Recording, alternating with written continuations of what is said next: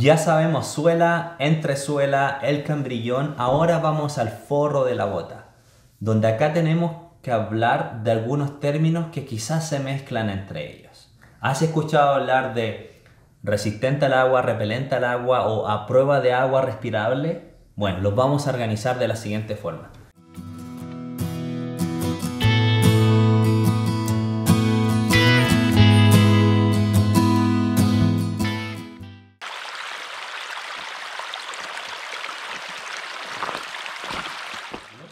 Tenemos resistente al agua. Y voy a juntar la definición en inglés porque generalmente los productos de actividades para el aire libre van a venir con esa denominación, así los podemos tener identificados a la hora de elegirlo. En simples palabras, resistente al agua es que tú tienes el forro del zapato y tienes el material de afuera. Y solo ese tipo de material es resistente al agua hasta cierto punto. Por ejemplo, este zapato es resistente al agua hasta cierto punto porque tenemos el forro interior, que lo pueden ver acá, tenemos el material exterior y hasta que este material se colapsa con agua y lo deja pasar va a ser resistente al agua. Pero ojo, me va a permitir también un movimiento de humedad en mayor grado.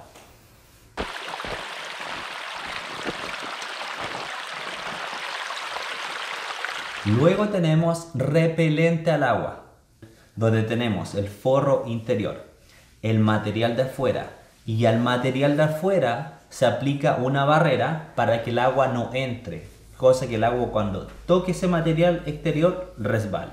Es por eso que siempre vamos a estar aplicando esa barrera afuera porque no dura mucho.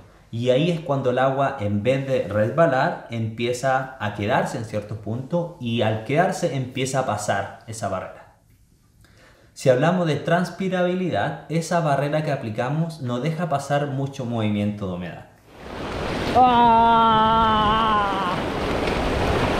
¡Ah! Que está Y por último, imaginamos que tenemos ese forro junto a una membrana que es impermeable y respirable y luego tenemos el material de afuera en ese sentido vamos a estar mucho más protegidos y a la vez esa membrana, que pueden ver acá, nos va a ayudar a mover la humedad y mantener nuestros pies secos.